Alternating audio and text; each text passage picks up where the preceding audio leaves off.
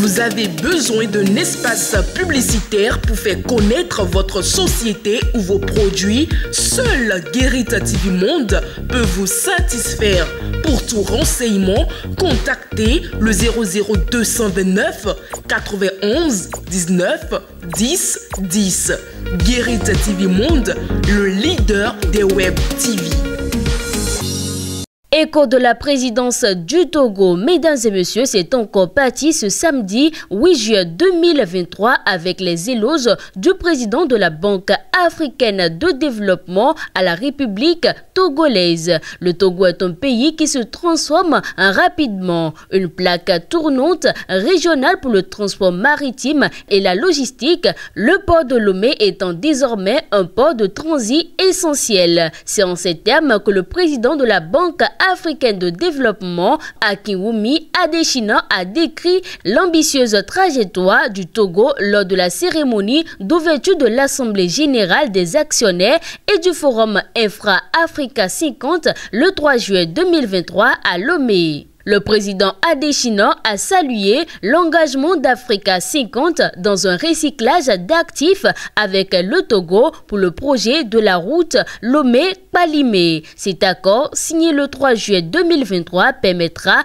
au gouvernement togolais de disposer de nouvelles ressources pour continuer à financer le développement d'infrastructures dans le pays, accentuant ainsi la transformation ambitieuse du Togo. Le Togo investit également dans les infrastructures routières et dans le transport en tant que composante clé de l'autoroute Lagos-Abidjan et du corridor Togo-Burkina Faso pour renforcer l'intégration régionale assez satisfait à Kiwumi Adeshina. En marge des travaux du forum, le dirigeant a été reçu par le président de la République, For Esozima Yassingbe, à qui il a réaffirmé l'engagement de la Banque africaine de développement BAD à accompagner le pays dans son développement. Audience au cabinet de la première ministre togolaise. L'ambassadeur de l'Allemagne après le Togo fait ses adieux. Quatre ans après son arrivée, l'ambassadeur de la République fédérale d'Allemagne,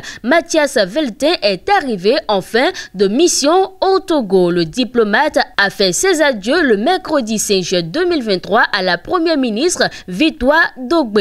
L'entrevue a été l'occasion pour les deux personnalités de faire le tour de la coopération germano-togolaise et de saluer les relations entretenues le long de ce mandat. Nous avons eu encore une longue discussion sur tous les secteurs de notre coopération en commençant avec la décentralisation, les secteurs de la santé, de l'énergie, de la recherche, une perspective en ce qui concerne la question de la migration. On a touché aussi la question de la sécurité, a indiqué Mathias Veltin à l'issue de la rencontre avant d'exprimer sa gratitude à tous les Togolais et Togolaises pour l'accueil et pour les excellentes relations entretenues. Enfin, l'officiel allemand qui a assuré avoir vu des progrès remarquables qui concernent le développement du Togo a réaffirmé l'engagement de son pays à maintenir son accompagnement. J'ai encore renouvelé l'engagement de l'Allemagne de faire plus dans ce secteur en répondant aux exigences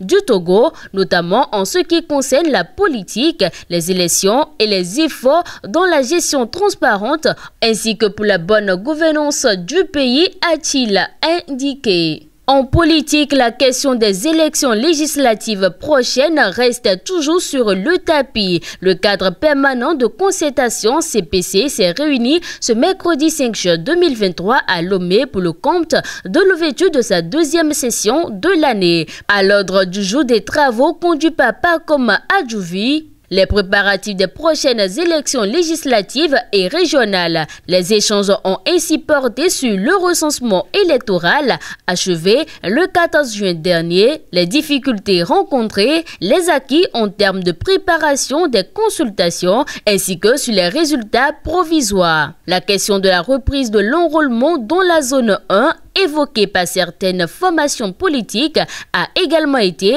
débattue. Les opérations se poursuivent notamment avec le traitement administratif des doublons, la correction et l'établissement de la liste des électeurs, l'audit du fichier électoral et la confection définitive de la liste des électeurs, a expliqué le ministre d'État. Par ailleurs, une autre session a été tenue jeudi dernier. Les questions sanitaires préoccupent également le gouvernement togolais. Un nouveau scanner sera mis en service lundi prochain au CHU Sylvanus Olympio. L'appareil doté de 64 barrettes a été acquis sur la base d'un partenariat public-privé. Il s'agit d'un appareil très rapide, très performant et qui peut faire l'exploration du crâne, du thorax, de l'abdomen avec leur contenu sans oublier les vaisseaux. Il peut faire jusqu'à 128 coupes et détecter les lésions dès les premières secondes, a expliqué le ministère de la Santé. Pour rappel, l'acquisition de cet équipement s'inscrit dans le cadre d'un vaste programme de réhabilitation et de modernisation du système sanitaire